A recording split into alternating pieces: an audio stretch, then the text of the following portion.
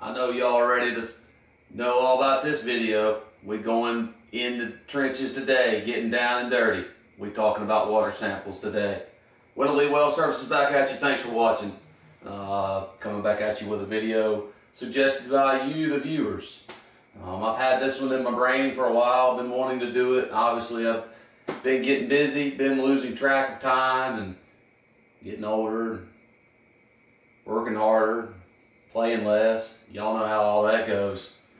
Um, but appreciate appreciate y'all watching our videos. Um, you know, been wanting to do this for a while, and I actually got a message uh, the other day from a viewer that was uh, want, wanting a video on this, and you know, kind of brought it up, so it prompted me to do it. So, you know, feel free to drop us a comment on uh, any any other suggestions you may have.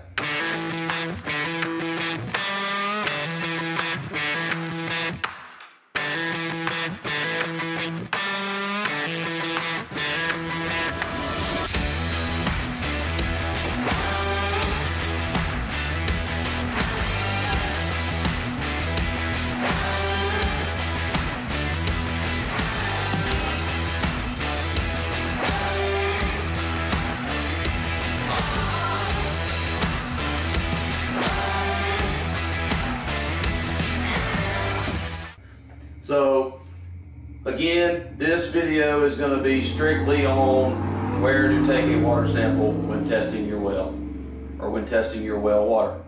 We will have videos coming up in the future about what can we test for, how can we test it, uh, what should you be looking for.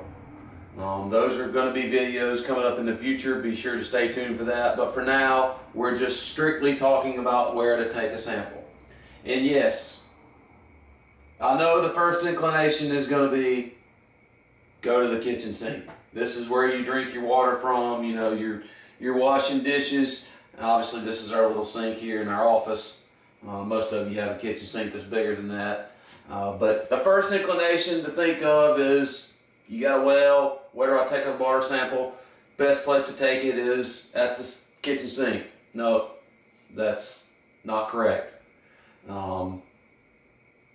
there's always a bunch of bacteria that can hang out, you know, in these nozzles, in the in the aerators. You know, there's bacteria around the sink itself. Um, this is going to give you a false negative. Can't tell you how many times that you know we have people that are buying new houses or just randomly testing their water. They give us a call. Hey, our water sample came back bad. It came back with coliform bacteria, and we had, the first thing I always ask people is where did you take the sample? About nine nine out of ten times, it's I took it at the kitchen sink. Best place to take a water sample for a well is as close to the well as you can get it. I know in our state, or both of the states that we work on, South Carolina, North Carolina, they require you for any type of new well to have a sample spigot at the top of the wellhead.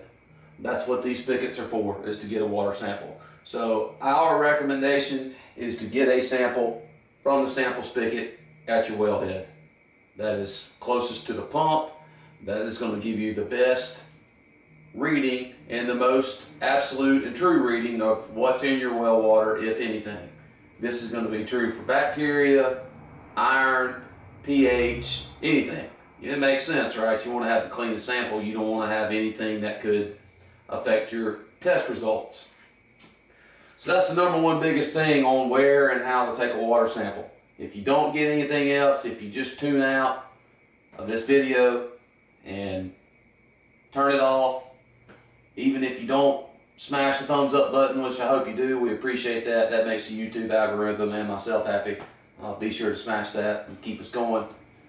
But the number one thing I'll try to drive home to everybody is take the sample out at the well.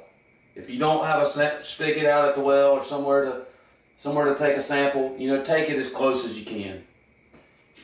You know, and obviously I've, I've kind of brought up before, you know, you get a you get a false reading from a test in the kitchen because there's bacteria in this nozzle. Okay, well, you don't want to be taking a sample with a garden hose attached. It can have bacteria in it, you know, if your spigot has an aerator in it, you want to remove that before you're taking it. Uh, what I always recommend, or when I'm taking water sample, you know, we always have a little torch on the truck. I'll come up in here and just, you know, heat the heat the end of the spigot very lightly to disinfect anything that's been in there. You know, obviously you don't want to take something and stick it way up close to the end, or you'll you know end up melting the internal components of your spigot and replacing the spigot, which you don't want to do. So take the spigot out, take the sample out at the well, disinfect the spigot or wherever you're taking the spigot at to ensure that there's nothing out on the spigot that can give you a false reading. That's number two. And then number three, this is another reason why I recommend taking this, the sample out at the well. Obviously, you don't want to just crack the spigot and take the sample.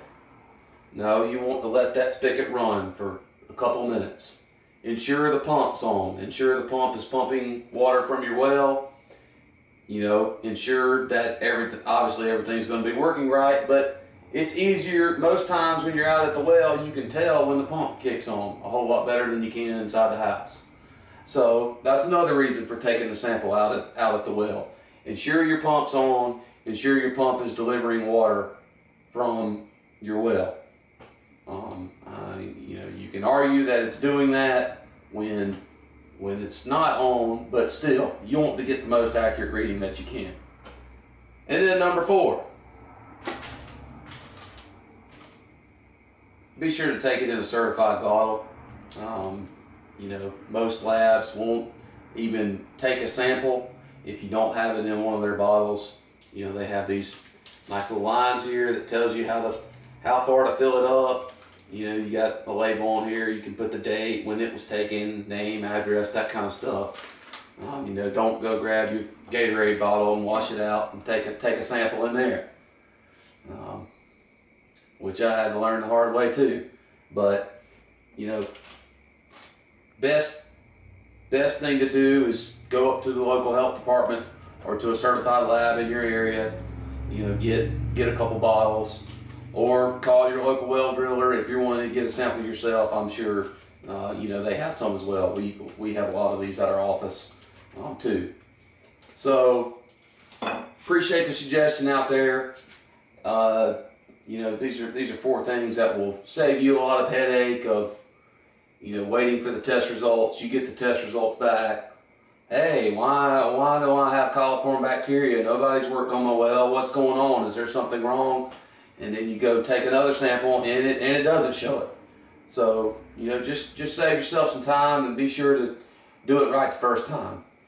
Um, you know, I'm gonna get into a little bit more later on about how frequently should you take a sample. Uh, you know, typ- typically, unless you're breaking the seal in the well or if you have problems with your well, anyways, you know, you don't really need to take a sample that often unless you're wanting to you know, verify that your water treatment system is working properly. Oh, and uh, yeah, I forgot about that actually. Another advantage of taking the taking the sample out here at the well is you're obviously going to be taking it before any water treatment uh, systems in your house might be treating your water. I know that's kind of self-intuitive, but just wanted to throw that out there too. So, thanks for watching. I uh, hope I gave you some helpful tips out there about where to take a sample at.